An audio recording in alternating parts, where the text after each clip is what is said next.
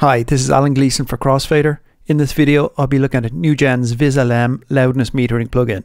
VisLM is part of NuGen's loudness toolkit, which also includes LM Correct, a standalone and Pro Tools audio suite device that analyzes your source audio and can adjust it to match a particular loudness standard.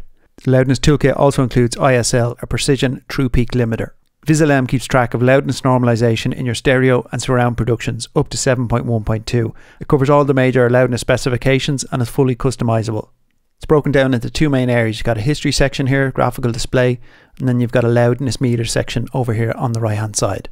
To begin with, we'll look at the loudness history section. This section gives you a graphical overview of various loudness measurements within your mix. Currently it's just set to display 30 seconds, but because I've analysed my whole mix, I'll set it to something longer, which is around the length of the mix. So uh, I can adjust my macro view at the top here to move around within my mix. As I'm playing here, I can turn on follow and the display will follow my mix. So I can see it's that's where it is there. Let's zoomed in a tiny bit. So you can see that it's updating the short term measurement, which is the line that it's actually drawing there. So I've made some adjustments and now it's updating the loudness. Over on our left hand side here, we can turn on what it's actually displaying here. So we can turn on and off, say the macro at the top.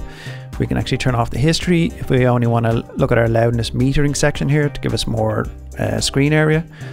Turn that back on there and I can turn off my integrated line. So this is minus 13.1 LUFS is what it's calculated the mix to be at at the minute. You can see it's adjusting slightly there. Um, so I can turn that on and off. I can do the same. This is an integrated with dialogue.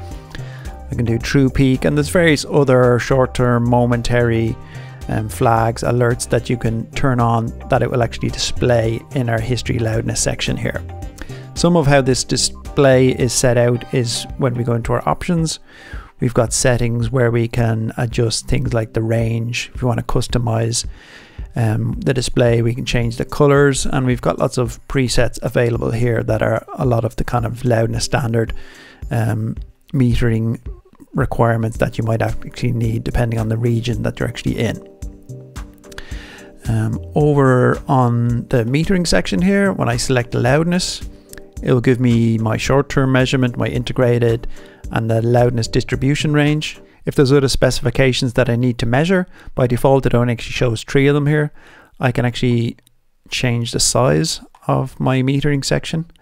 And if I go into my options, and I can go into edit and I can turn on other things if I want to see momentary or integrated with dialogue, I can turn them on there so that when I go back here to my loudness, now I've got more specifications there. Got two bar meters here. One is for uh, short term and the other one is for momentary. I can just reset them there.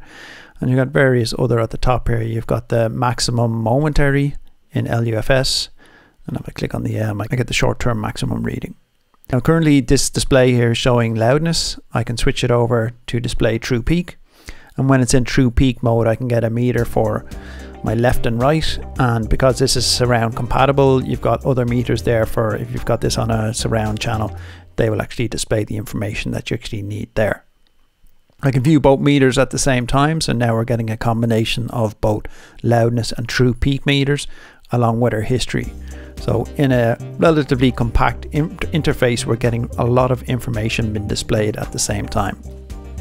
So as well as the visual display here, if I wanted to be alerted of a particular variation, I could go into my options section and say if I went into my alerts and say maximum, I want to get notification when the the momentary goes above below a certain measurement. So when I adjust that there, it will start to give me notifications of where those issues are occurring and then I can go through those various ones skipping through them there and it's updating me on the information in the lower corner there.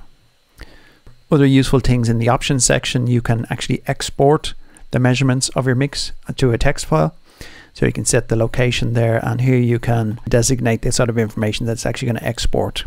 You've also got an auto log there which you can actually record in automation the information that's been cataloged in the plugin. Finally, you've just got your global section, which will set your zooms and you can offset the time code and the frame rate. You can also save the history when you close your project if you want the information available when you come back rather than on a short song, it mightn't be such of an issue, but if you're working on quite a large project, maybe like an hour or two, it can be a real headache to actually having to play through your mix again for the uh, plugin to recalculate the measurements. One particular advantage of using this plugin is there's many plugins on the market that calculate LUFS.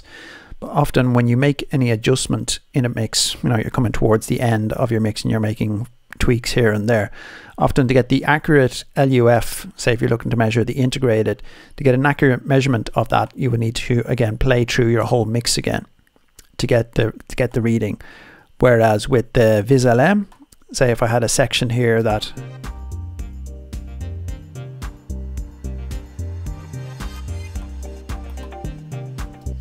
say if I felt that just that that cymbal there was too loud and I wanted to automate that, I can just grab that and make my adjustment. Say turn want to turn it down a bit.